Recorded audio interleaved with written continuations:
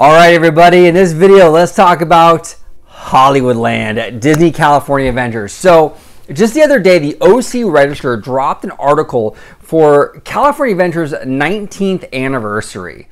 And, you know, most of the article, they were just kind of going over the history of the park and, you know, the 2012, uh, you know, reimagining and all that good stuff.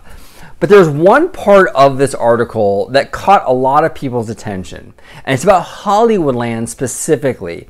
And like I said, they talked, they sat down with the DCA vice president. I'm going to read you this the the snippet, and then we're going to talk about it. Okay, and it says here.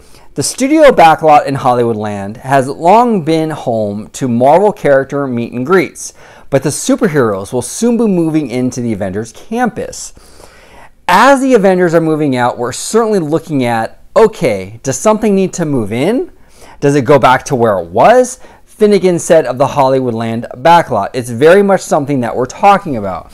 Okay, so basically, you know, their mindset right now at Disney and at Imagineering, you know, they're kind of they're trying to figure out, at least from what he's saying, they're trying to figure out what to do with Hollywoodland. You know, do we do we go full force with Marvel and just put Marvel all in Hollywoodland? Or, you know, do we keep it Hollywood and, and we have more of an eclectic mix of various franchises? Now, here's where I stand on this, okay? I, I, lo- I fully support the idea of an Avengers campus. I think it's the right decision for California Adventure. I'm excited for it. I also support the idea of expanding the Avengers campus into Hollywoodland, but only so much. Like I would be okay if they if they expanded Hollywoodland. I mean, um, Avengers into like the animation building, maybe into the Hyperion Theater, and that's about as far as I want Avengers campus to go. I don't want them. I don't want Marvel to completely take over all of Hollywoodland. You know, DCA right now is sort of set up with these big chunks of franchises. You have Pixar Pier, which is all Pixar, Cars Land, which is basically again Pixar, and then you're gonna have this big chunk of area with all Marvel, right? If Hollywoodland were to completely go in the Marvel direction, you basically have a park that only has two franchises going for it. You know, it would basically be a park completely comp- com- completely composed of Marvel and Pixar. And I find that incredibly boring. I really do. So I hope, I hope, I hope, I hope that if Marvel does encroach into Hollywood land, it's very limited in scope. I really, what I want to see in Hollywood land is I want to see a mix of various things.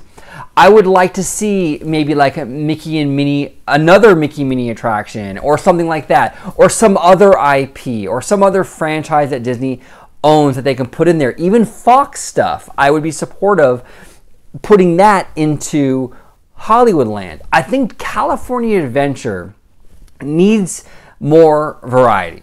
Okay, it needs more variety, and having so much of the park focused on just two brands of the Walt Disney Company, I think is extremely limiting.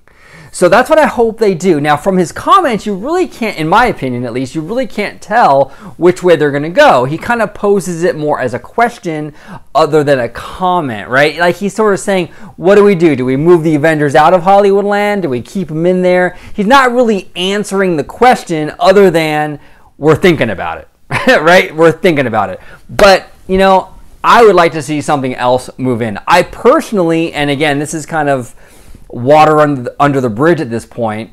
But I would have rather have seen the Mickey and Minnie Runaway Railway move into Hollywoodland. I think that would have been a perfect addition for that area, other than moving to DCA.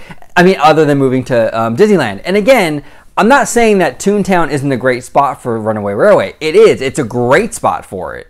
It's arguably like a perfect spot for it theme wise, but I think it also would have fit theme wise in Hollywoodland, and I think it would have done more for California Adventure than it's going to do for Disneyland. Disneyland does not need another big family E ticket.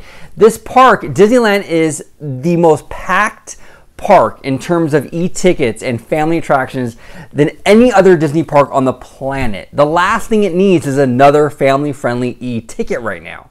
It just doesn't. And I know that's probably an unpopular opinion, but Disneyland doesn't need it right now.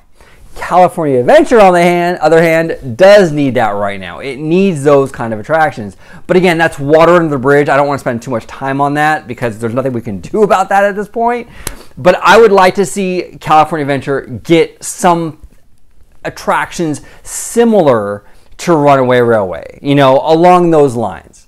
Other franchises that aren't Pixar, that aren't Marvel, moving in to Hollywood land. That would be my ideal scenario. But we will see. You know, Finnegan saying right now they're still thinking about it. You know, we'll see what the, what they ultimately decide. But what do you guys think about the future of the Hollywood land area at California Adventure? Do you want to see it go full Marvel? Or do you agree with me that you wouldn't mind it, you know, maybe eh, Marvel encroaching a little bit into Hollywood more, but you don't want it to go full Marvel. You still want to have the Hollywood theme and kind of have other franchises represented.